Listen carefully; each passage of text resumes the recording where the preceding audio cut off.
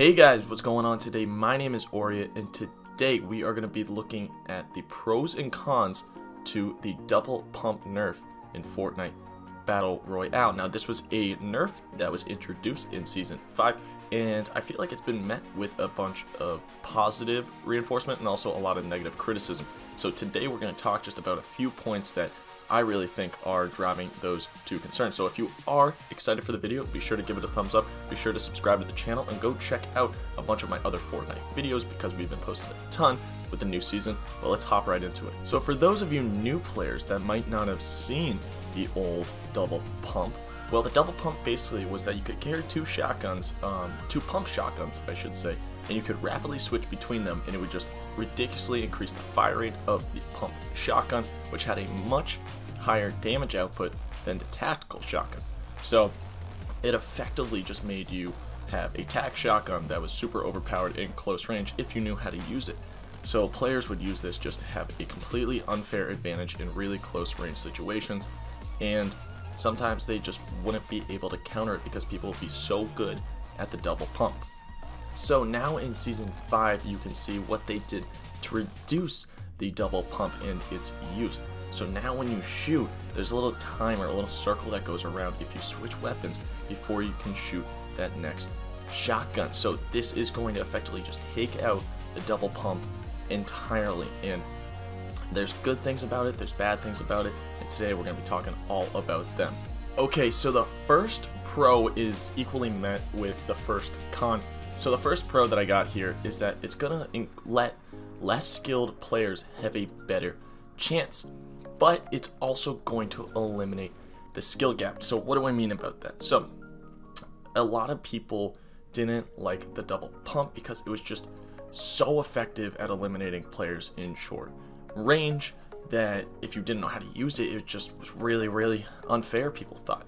So now that there is no double pump, it's going to allow these newer players to have a better chance when going up against some of the top players in the game because pretty much all the top players in the game used the double pump. I mean, it was just ridiculously effective and it just shredded enemies apart. So for more skilled players, they aren't going to like this. So personally, I'm kind of torn because I like the idea of creating a bit more fair Fortnite game, but I used to use the double pump a lot, I'm not to lie, and it was just ridiculously good. That's why I used it.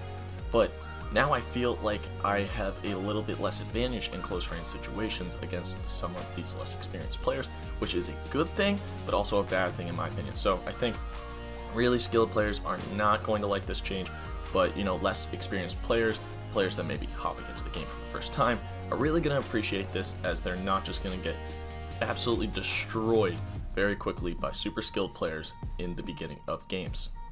Okay, so the next pro and con are also kind of related, and the next pro is that this is going to increase a wider range of weapon choice.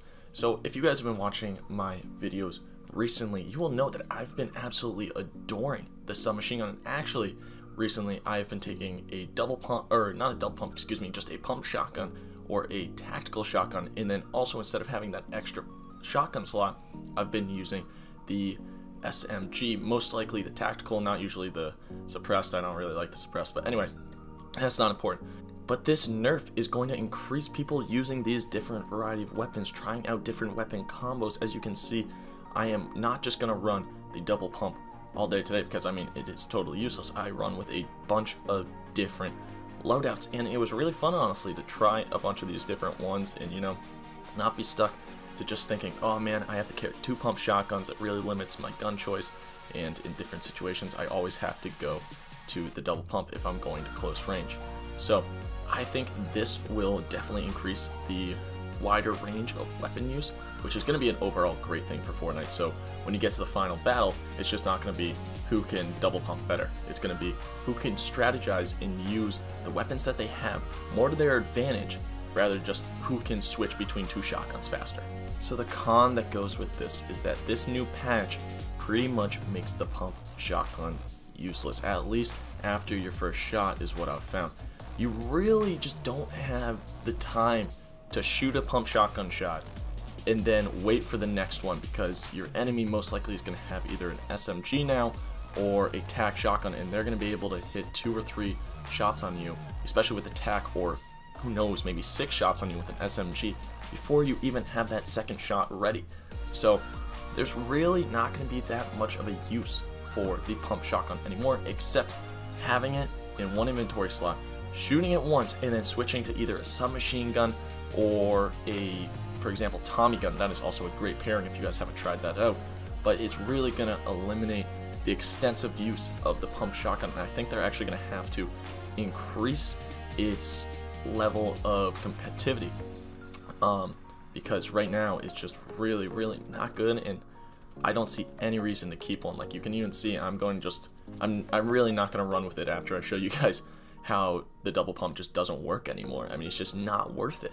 Now, those are the only two real cons that I see, at least, that are just clearly evident in the game so far from this double pump nerf. While I am sad to see them go, I think that overall the nerf is a good thing. There's even more pros. There's so many pros I could list out, but there's only one more that I really think is going to make a huge difference or that is like a really big emphasis on why they did it, and that is it makes players come up with new strategies for short range engagements. I've talked about this a little bit already, but this this new mechanic of not being able to have double pumps is really going to make experienced players, I mean new players obviously, but really going to make old players go back, reconsider how they deal with short range engagements. It's going to make them rethink on how they want to approach situations instead of just running in with a double pump, going for two headshots really quick, and eliminating the enemy. They're going to have to be more strategic, they're going to have to plan out their moves more,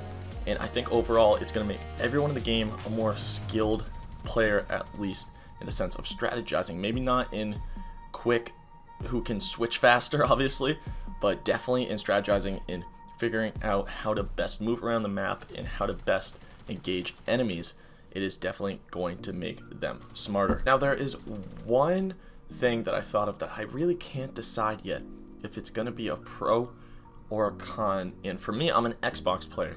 And honestly, I think it is going to be more of a con than a pro because people already do this so much in Xbox, and that is building. I think this update is going to make players build much, much more. Because before, you know, if you had a double pump, what people would do is usually they saw a base and they saw someone sitting in it, they could rush up to it with a double pump, take him out really quick before the other enemy had a chance to build. Now, you really can't do that as much with the new nerf. So I'm really interested to see how people are going to start attacking different situations. Are they going to build more? Are they going to build less? And if they build more, is it going to be a good thing or a bad thing? Like on Xbox, if you guys don't play on Xbox, you don't know this, but people just build in a like just an obscene amount. It is ridiculous. I feel like every time I get into a firefight, there's just a crazy structure that ends up happening. I mean, that's fun, but sometimes it's just so frustrating if you just want to get a little good, you know, shooter action going on, and you don't want to have to worry about building this massive one by one or just a labyrinth mess. Um, so I honestly don't know if it's going to be a good thing or a bad thing. I think it's going to overall increase the amount players build because of that whole rushing mechanic I talked about. But I'm interested to see this one. I really can't tell yet if it's going to be a good or a bad thing. Now that is going to pretty much wrap up today's video, guys. I want to thank you all for watching. If you did enjoy, be sure to hit that like button. Be sure to hit that subscribe button. Go check out some of my other videos on the channel but I also really want to know what you guys think about this new nerf. Is it good? Is it bad? What are the pros? What are the cons? Down in the comments below. I would love to see at least one pro and one con from each of you so I can start to digest this new patch just a little bit more. But anyway guys, I'm going to see you in the next video. I hope you all have a fantastic weekend coming up, and I'll see you guys next time. Adios.